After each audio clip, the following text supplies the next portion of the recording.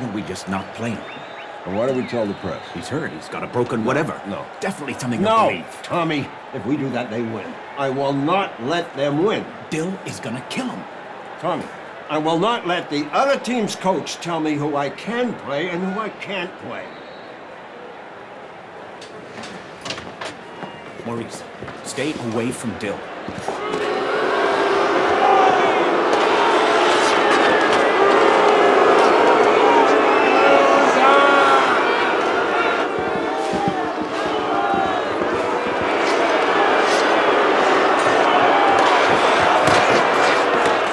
Go.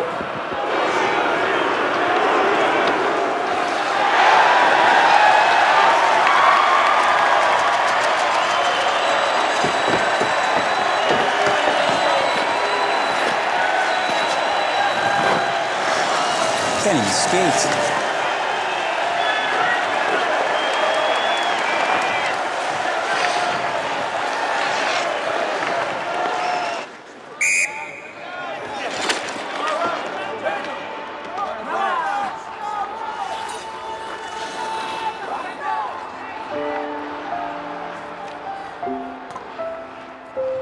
Blake, Lach, Mosdell. Let's go.